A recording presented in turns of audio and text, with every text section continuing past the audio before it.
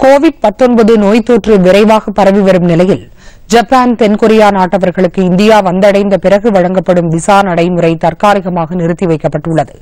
டோக்கியோவில் உள்ள இந்திய தூதரகம் இன்று இதனை அறிவித்தது.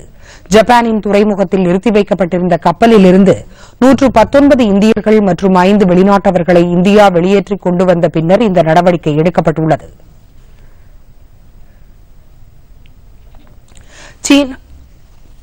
சீனாவுக்கு அடுத்தபடியாக தென்கொரியாவில் கோவிட் பாதித்தவர்களின் எண்ணிக்கை இரண்டாயிரத்தை தாண்டியுள்ளது.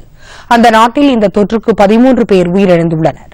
இந்நிலையில் அதிகம் பாதித்த ஜப்பான் தென்கொரியா நாட்டவர்கள் மூலம் இந்த நோய் தொற்று இந்தியாவில் பரவுவதை தடுக்கும் முன்னெச்சரிக்கை நடவடிக்கையாக இவர்களுக்கான விசா நடைமுறை தற்காலிகமாக நிறுத்தப்பட்டுள்ளது.